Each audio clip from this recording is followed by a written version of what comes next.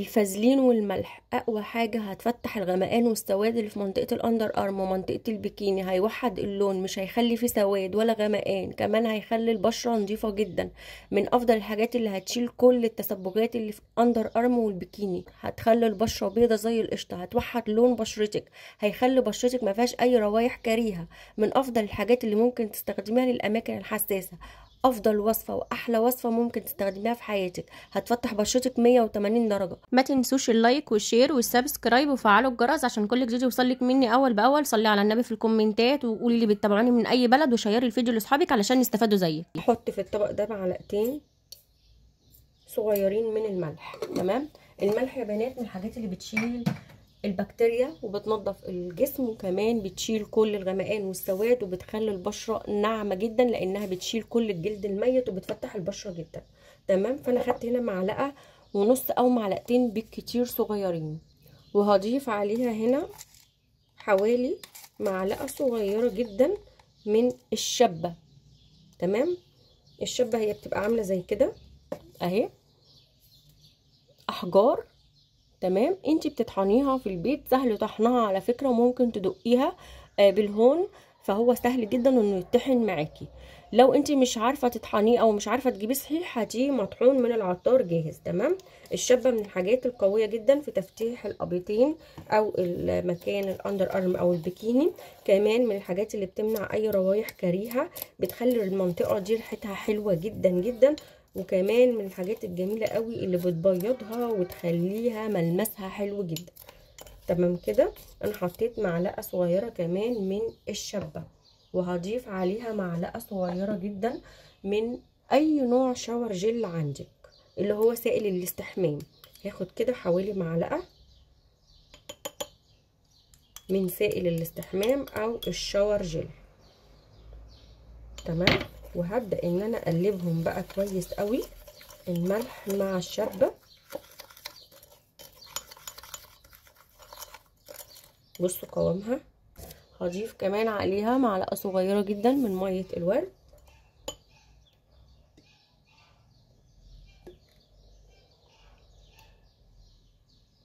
تمام كده. وهبدأ بقى أدمجهم.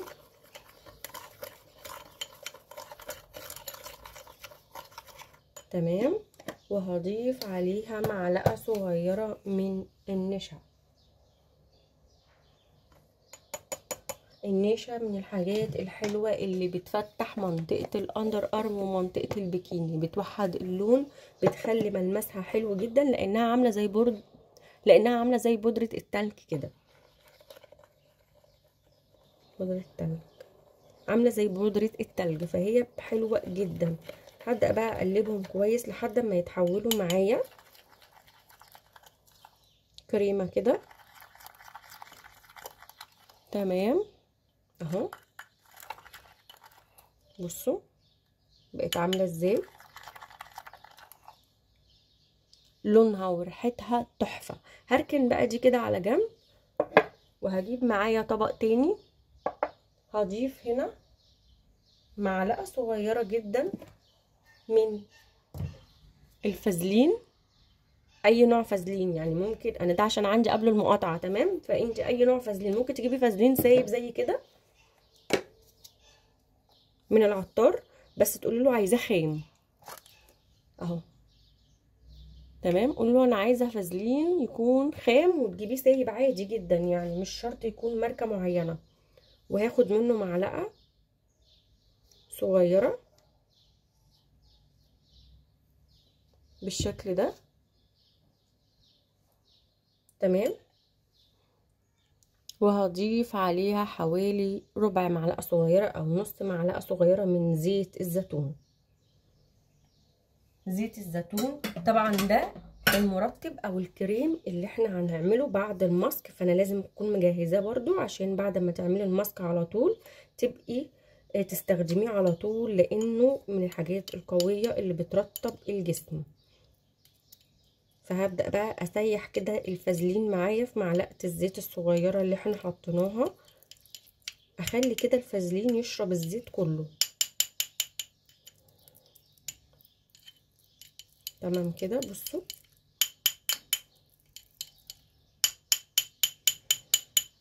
شايفين؟ الفازلين شرب الزيت كله. تمام كده؟ هضيف كمان معايا حاجة بسيطة جدا من زيت الورد. وزيت الورد أنا قلت لكم قبل كده بتجيبيه من العطار وقولوا له عايزة زيت الورد يكون خام.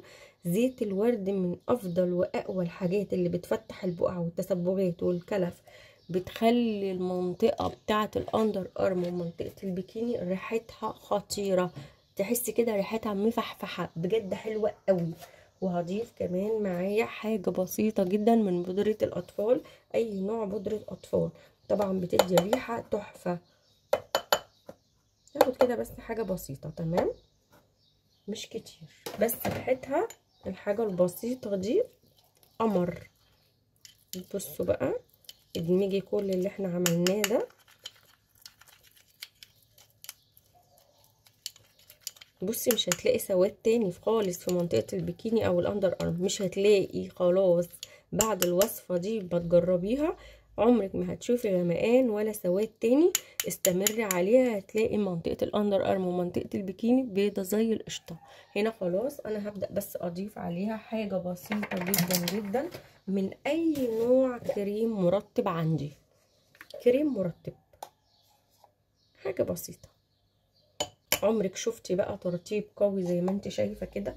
ده أقوى ترطيب بجد حلو قوي قوي للجسم. وللمناطق الحساسة. بصوا عمرك انت شفتي بجد قمر زي كده؟ بصوا جمالها ده كفاية ريحتها. ريحتها كلها ورد. وقوامها كمان يعني بصوا بحاول أوريكم قوامها اللي هو إيه حلو قوي متماسك كده اللي هو تحطيه على الجسم يفضل كده ثابت. تمام كده؟ تعالوا بقى نجربهم.